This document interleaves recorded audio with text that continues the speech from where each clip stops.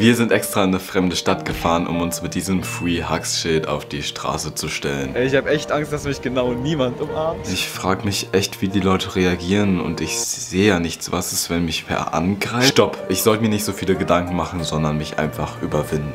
Oh nein, ich sehe nichts. Ich sehe nichts. Ey, scheiße, ist das nicht zu riskant? Nein, das ist super so.